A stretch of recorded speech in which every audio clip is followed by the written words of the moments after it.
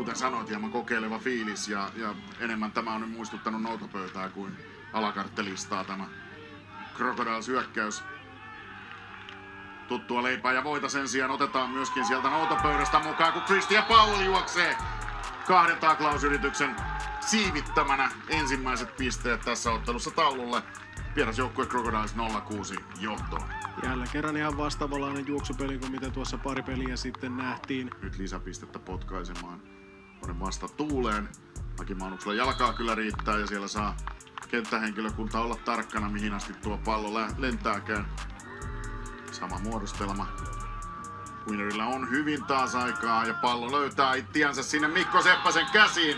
Aatu Tuokko on sen verran takana, että jos Seppänen olisi saanut tuon heiton kiinni, siitä olisi syntynyt Butchers touchdown, mutta tällä kertaa pallo käsistä maahan. Janne Särkelä täällä vasemmalla ja Särkelä ensin katsoo Whitehead, sen jälkeen heittää keskisaumaa. Ja Kasperi Harju. Ei korjaa. Jälleen kerran missasin Joel Särkelän.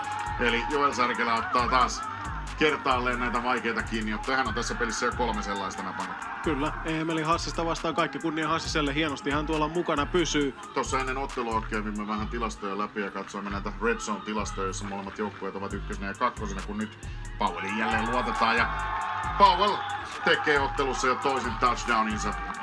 Ja tämä on ollut hieman erilaista lähtökohtaisesti siihen nähden, kun tuolla Red, Zoneilla, Red Zoneille ollaan menty.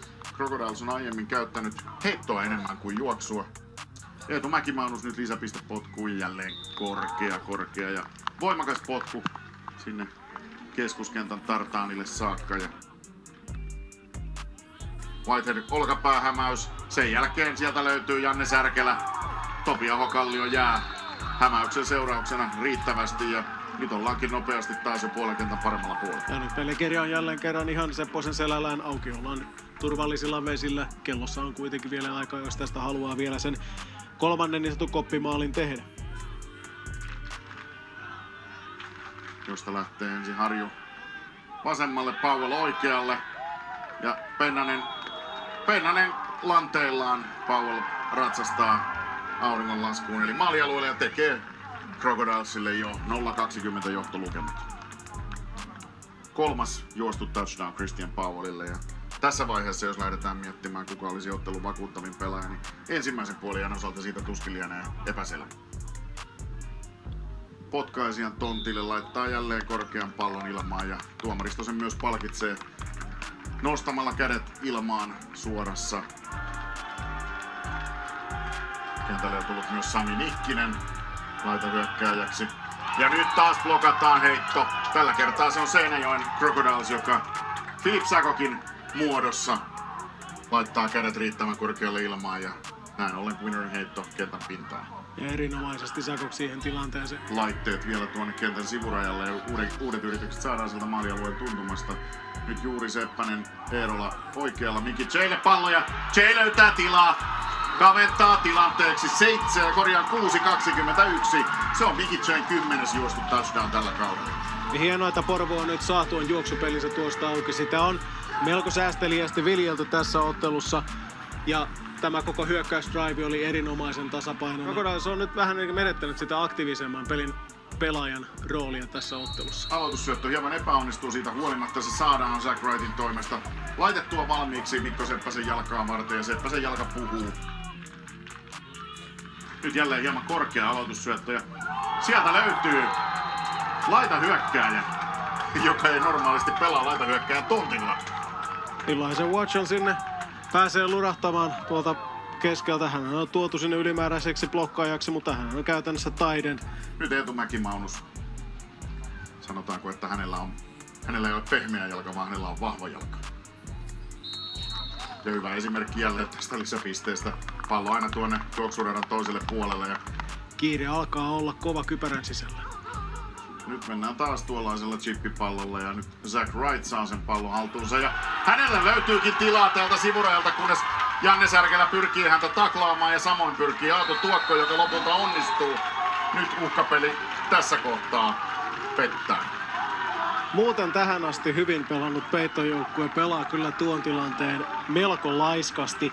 Pallo tulee ihan siihen samaan kohtaan, mitä koko ajan peli ja sieltä sitten Taas puolustuslinja tekee siellä hieman liikkeitä. Nyt pallo jälleen Miki Chelle, joka lähtee kiertämään ja ei tahdo löytää sieltä väylää kääntää tuota peliä ylöspäin.